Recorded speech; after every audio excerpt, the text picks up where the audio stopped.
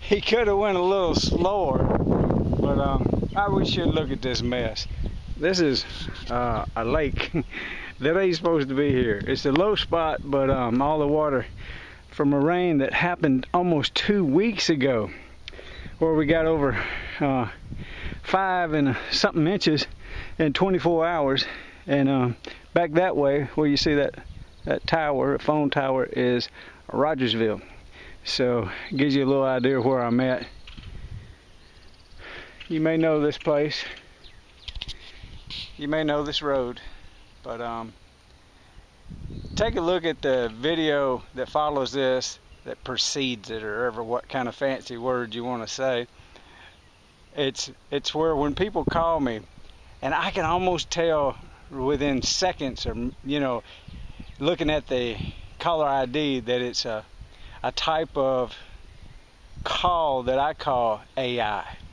So what I do is I let the I you usually you have to speak to activate it. You say hello and then you can hear, you know, like a little click or a little funny sound and then you hear them pushing through like they're somebody.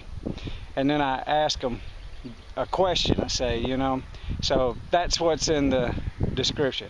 How to get rid of those so-called robocalls, or I call them AI. And the guy said, "What is AI? It's artificial intelligence, and they will be calling your house unless you stop them like I do." All right. Here comes another vehicle. Let's see if he can go through.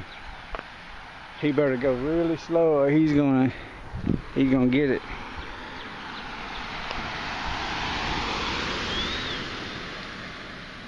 He's slowing down. Yeah, if he slows down, I know that guy. He lives right up the road. I bet he's come this way before. Well, I don't know. He's thinking about it really hard. Now he pushes through. Let's see how high deep it gets.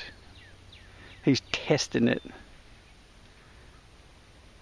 And he decides. He says, What the heck? I'm belly deep in it now. I might as well go on through. And he pushes.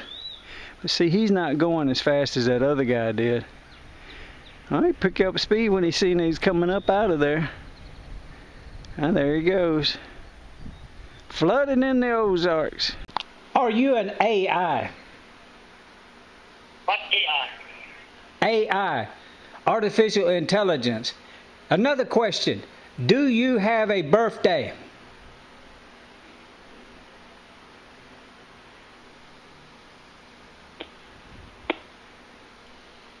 Well, dang.